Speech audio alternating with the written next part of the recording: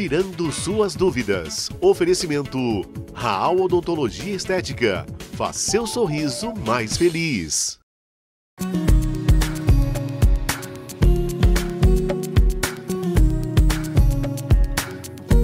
E hoje nós estamos aqui na Clínica Raal, em Birigui, onde eu fiz questão de vir conhecer pessoalmente a clínica. Bom dia, Sandra. Bom dia, Maíta. Bom, em primeiro lugar, você está de parabéns. Tua clínica é linda. A gente vê a clínica no ar, mas estar aqui pessoalmente, você tem muitas flores, né? Aqui é lindo. E hoje eu tô aqui porque a Sandra vai participar mais uma vez do quadro Tirando Suas Dúvidas para responder, responder a seguinte pergunta. Olha só, eu tenho 50 anos e quero ter os dentes perfeitos. Qual o melhor caminho? Colocar aparelho ou pôr facetas de porcelana? Mas em primeiro lugar, fala pra gente tudo o que a sua clínica oferece. Então, Maíta, o, como eu te disse, eu tenho muito tempo de formada e eu comecei aqui com essa ideia de trazer um tratamento integrado. E o, todas as pessoas que trabalham aqui são pessoas que eu acabei formando, porque eu dei Olha, aula legal. na Unesp durante muito tempo, quase 30 anos que eu fui professora. Ainda tenho uma, alguns cursos Com e... essa carinha de criança, viu, gente? É, que ótimo. É que eu sigo as regras do, do bem-estar. Por isso. Então, o, e essas pessoas que trabalham aqui, nós temos todas as especialidades da clínica. Eu tenho ortodontista, odontopediatra, eu tenho quem trabalha com disfunção de articulação, eu tenho implantodontista, cirurgião, todas as áreas, enfim.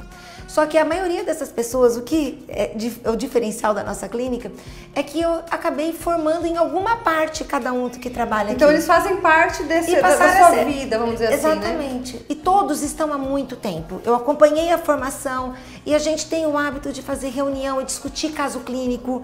Isso que eu acho legal, né? A pessoa vem pra cá, seja qual for o problema que ela tem, vocês conseguem resolver tudo aqui dentro. Mas tem um responsável.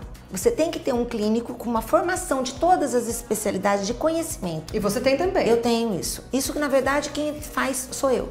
Essa triagem do paciente, onde a gente faz o exame clínico e planeja junto com as outras especialidades, e aí a gente traça um plano de tratamento integrado. O paciente entra aqui e já sai com o sorriso, Já sai. E o sorriso, transformado. Sorriso é tudo, né? Quantas pessoas, é, quantas pessoas às vezes ficam, se fecham, né, dentro delas por vergonha, né, de sorrir. Bom, então vamos lá, vamos responder aqui a pergunta.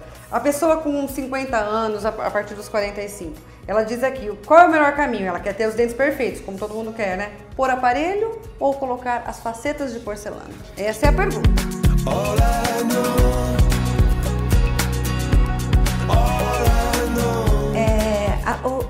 independente da idade, a ortodontia para paciente adulto sempre é vista com uma ressalva de que será que dá para fazer ou não.